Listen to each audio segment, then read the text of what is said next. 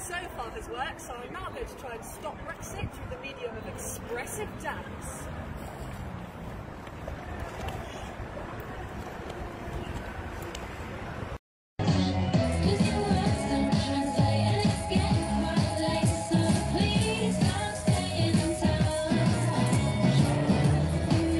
Hey, hey, hey, hey, hey, hey, hey, hey, hey, hey, hey.